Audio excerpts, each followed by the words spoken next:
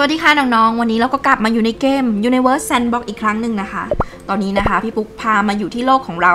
เช่นเดิมนะคะนี่อันนี้ก็คือดวงจันทร์ ดวงจันทร์ เราจะเห็นแต่ด้านที่มันเป็นตะปุ่มตะป่ำอย่างนี้นะคะ พวกนี้ก็คือเป็นแผลจากการที่เคยโดนอุกกาบาตชนนะคะ เกิดเกิดการชนมามันก็เลยกลายเป็นแผลแบบจุดๆ หน้าเป็นหลุมเป็นสิวเป็นบ่ออย่างนี้นะ โอเค กลับไปที่โลกของเราอีกรอบหนึ่ง เดี๋ยวหาโลกก่อน เอาโลกหาย เออพี่ปุ๊กมีความรู้สึกอิจฉาดาวเสาร์มากเลย ดาวเสาร์เขามีแหวนมั่นแล้วอะทำไมโลกของเราไม่มีทำไมฉันยังไม่ได้มั่น ฉันไม่เข้าใจ โอเค เราจะมาใส่ใส่วงแหวนให้โลกกันนะ ใส่ทั้งทีต้องใส่ไม่ให้เหมือนใครปึ๊บ นนี้ก็ยังเหมือนดาวเสาร์อยู่นะ เฮ้ยมันสวยนะเนี่ย เฮ้ยเราน่าจะมีแบบเขาบ้างนะปึ๊บโอ้นี่นี่นี่นี่นี่ต้องอย่างนี้ อ้าวทำไมเมื่อกี้มันยังกลมๆอยู่เลยโอ้เฮ้ย เฮ้ยงามอะ่ะ ว้าว เฮ้ยได้ได้ได้ เราอนุญาตให้คุณอยู่ค่ะ คุณอยู่รอบโลกเราได้ เพียงแต่คุณไม่มาหล่นใส่โลกเราเราโอเค อุ้ยสวยอะสวยปึ๊บอ่าใส่ตรงกลางเข้าไปอีกนะ ว้าว เฮ้ยเฮ้ยงามมากเลยอะจริงจริงนะปึ๊บอะใส่อันนี้เข้าไปอีก มันดูเริ่มหนาเริ่มรกแล้วนะคะ โอเค เฮ้ยโลกเราถ้าเกิดสมมุติว่ามันมีแบบสะเก็ดมาอย่างนี้แล้วแบบ มันมันหมุนอย่างนี้จริง ๆ นะ มันจะเป็นอะไรที่แบบว่า สวยมากเลยโลกเรา เฮ้ย นี่อะไร อันนี้อะไร อันนี้อะไร อันนี้อะไร นี่วงแหวนแบบไหนเนี่ย ประเภทไหนเว้ยนี่วงแหวนประเภทไหนเนี่ย ฉันไม่ค่อยเข้าใจกับการทำงานของเธอ เฮ้ย เฮ้ย เดี๋ยว เดี๋ยวเดี๋ยวเดี๋ยว อันนี้ดวงจันทร์นี่นะ ดวงจันทร์มีกี่ดวงเนี่ย เฮ้ย อยู่เฉยๆได้ปะล่ะ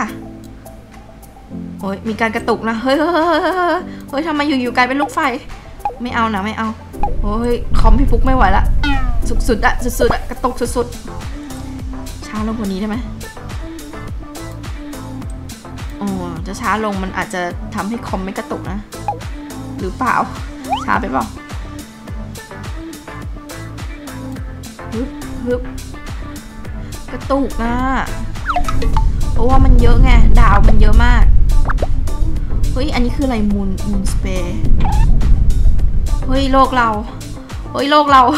พี่ปุ๊กไม่น่าเลยอะ่ะ ไม่น่าแบบว่าอยากไปได้แหวนของเขาเลยอะ่ะ มันก็เลยกลายเป็นอย่างนี้ไปเลย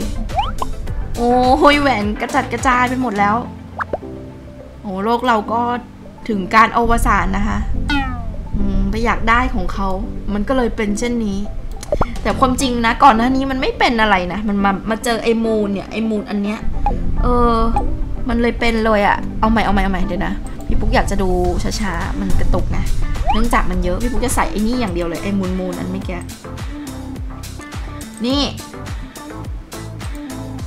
ฮึว้าโอ้ยมีกี่ดวงเนี่ยน่าจะมีโอ้ยหลายร้อยดวงเลยนะคะช้าๆช้าๆช้าๆช้าๆช้าๆอ๋อ อันนี้เหมือนกับเคยให้ดูแล้วเนาะเมื่อตอนคลิปแรก ใช่ไหม รอดไม่รอดไม่รอด ไม่รอดไม่รอดไม่รอดไม่รอดไม่รอด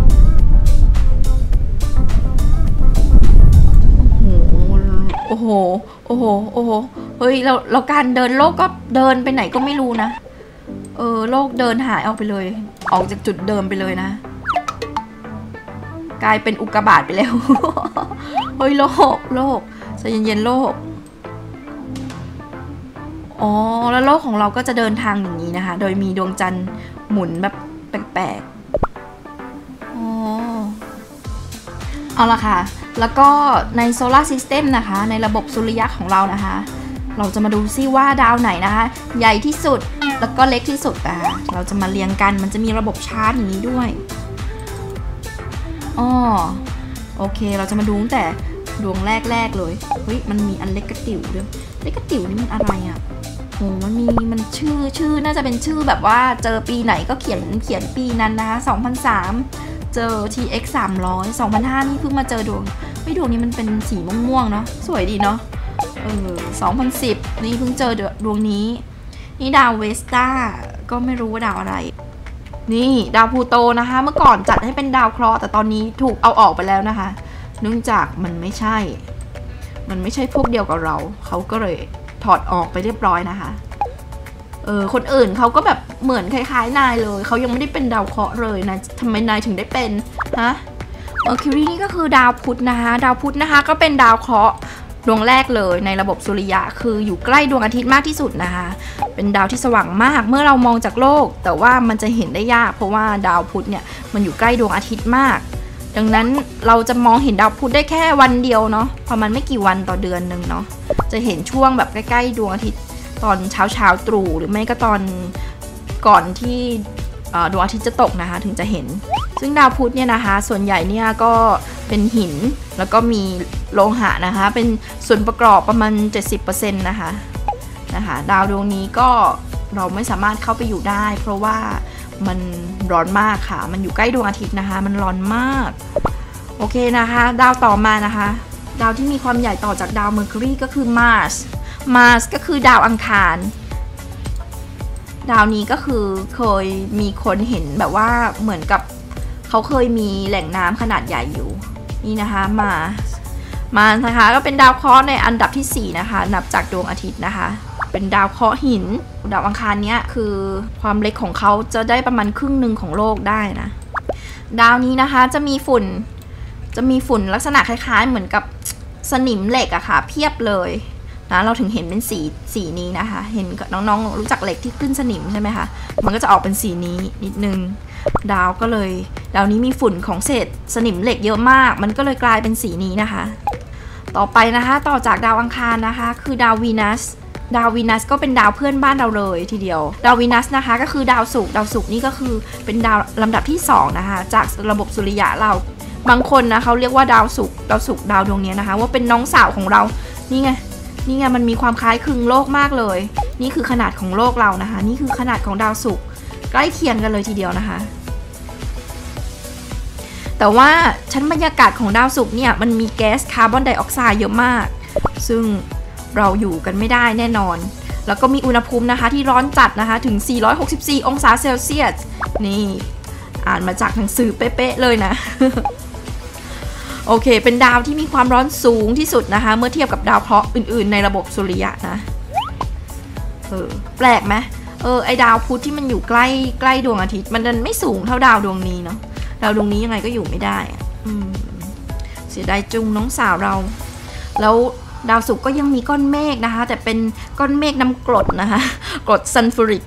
ดังนั้นเวลาแบบว่าเคยเล่น Roblox ปะ Roblox แบบฝนกรดอะไรยังไงอย่างนั้นเลยค่ะ ฝนตกมาทีนี้คือต้องหนีเข้าบ้านเลยนะ โอเค ต่อไปก็คือโลกก็เป็นอะไรที่เรารู้จักอยู่แล้วโอ้แล้วต่อจากโลกนะคะ ต่อจากโลกนี่โอ้โหมันใหญ่มาก ต่อจากโลกก็คือดาวเนปจูน ว้าว ดาวเนปจูน ดาวเนปจูนสีสวยมากเลย อ๋อเอิร์ธแล้วไม่ใช่เนปจูนสิ เอิร์ธแล้วยูเรนัส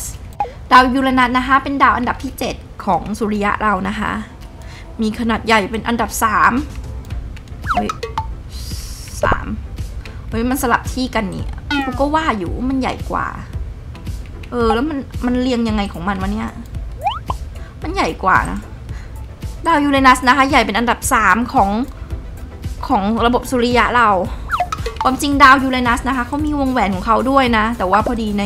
ในนี้มันมันไม่ขึ้นไงดาวยูเรนัสนี่ไม่มีพื้นพื้นผิวนะคะ ทั้งหมดนี้เป็นของเหลวหมดเลยนะคะ ไม่มีพื้นผิวที่เป็นของแข็งเลย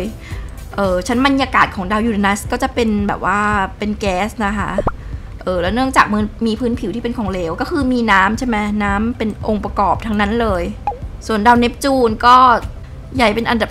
4 แต่ว่า เป็นดาวเคราะห์ที่อยู่ไกลโลก ไกลจากดวงอาทิตย์เป็นอันดับที่ 8 นะคะ แล้วก็เป็นดาวที่มีอากาศหนาวเย็นที่สุดเลย ดาวนี้นะเห็นดูสีฟ้าๆอย่างนี้นะคะ มันคือน้ำแข็งค่ะ ก็เคยมียานอวกาศของโลกเนี่ยไปสำรวจที่ดาวนี้แล้ว ดาวเนปจูนนี่มีดวงจันทร์ถึง 6 ดวงด้วยกันนะคะ มีชั้นตรงกลางเป็น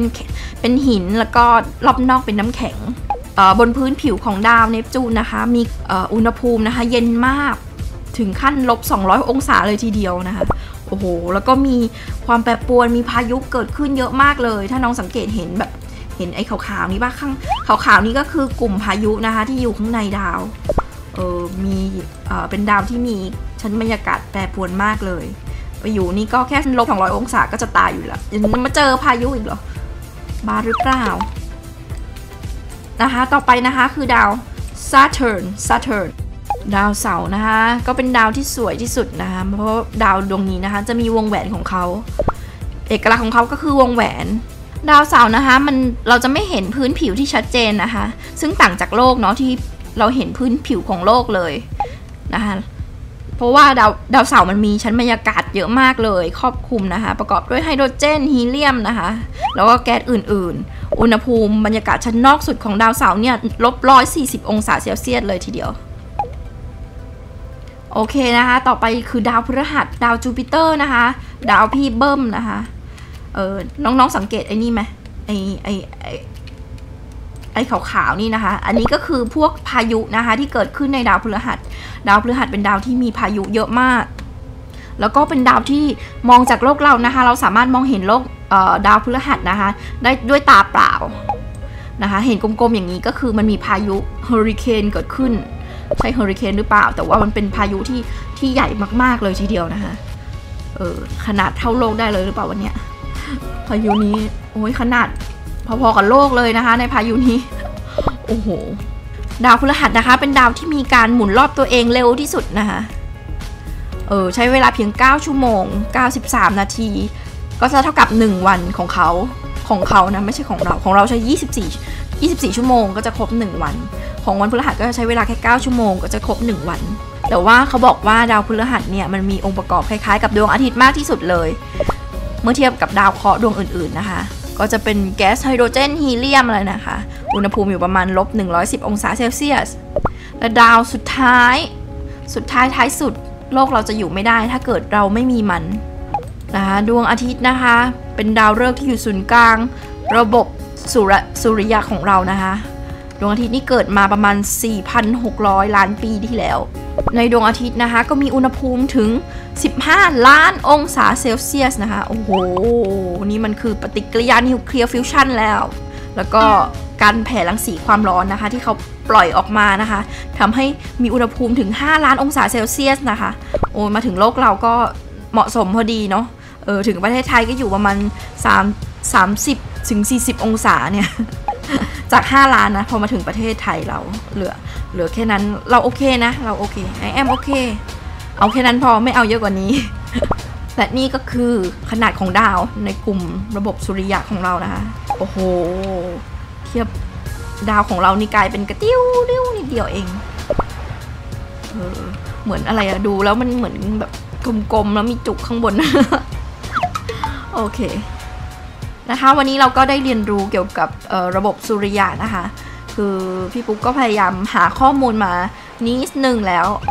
นิดเดียวเองนะ ไม่ได้เยอะไม่ได้เก่งนะคะ ถ้าเกิดน้องๆมีอะไรจะเสริมเพิ่มเติมก็เมนไว้ข้างล่างให้เพื่อนๆได้ได้เข้าใจได้รู้จักของโลกของเรามากขึ้นนะ ส่วนเกมที่เราจะเล่นแบบว่าสมมติว่า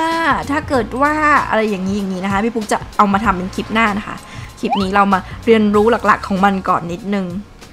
นะคะ ถ้าเกิดน้องๆชอบนะคะ สามารถดาวน์โหลดได้จาก Steam นะคะ Universe Sandbox นะคะโอเค ถ้าชอบอย่าลืมกดไลค์ Subscribe ให้พี่ปุ๊กด้วยนะจ๊ะ เจอกันคลิปหน้าจ้ะ บ๊ายบาย